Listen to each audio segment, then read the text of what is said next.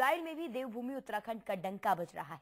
प्रधानमंत्री नरेंद्र मोदी तीन दिनों के इसराइली दौरे पर हैं और इस दौरान उन्होंने खाने पीने की ज़िम्मेदारी जिस भारतीय शेफ को दी है, वो दरअसल टिहरी के रहने वाले हैं। खाने पीने की ज़िम्मेदारी टिहरी के शेफ को मिली है। उत्तराखंड के शेफ धर्मेंद्र पवार ने ऐसा लजीज खाना बनाया है कि पीएम मोदी का दिल जीत लिया है। प्रधानमंत्री मोदी ने न सिर्फ़ धर्मेंद्र के खाने की तारीफ़ की है, बल्कि ये भी कहा है कि उत्तराखंड बहुत अच्छा है और वहाँ के लोग भी बहुत अच्छे हैं।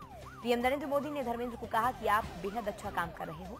धर्मेंद्र ने अपनी इस खुशी को फेसबुक पर भी ज़ाहिर किया। तो पीएम नरेंद्र मोदी के साथ अपनी एक फ़ोटो पोस्ट की ये तस्वीर देखकर टिहरी का हर बाशिंदा गदगद है।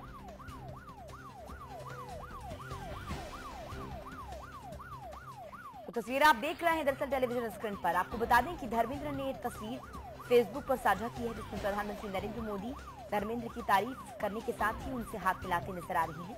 दरअसल आपको बता दें कि उनके दौरे के दौरान खाने पीने की ज़िम्मेदारी धर्मेंद्र को दी गई थी। धर्मेंद्र बहुत लजीज खाना बनाते हैं और इसकी खुद प्रधानमंत्री नरेंद्र मोदी ने तारीफ़ की। नरेंद्र मोदी ने कहा है कि, धर्मेंद्र, तुम बेहद अच्छे हो। उत्तराखंड बेहद अच्छा है।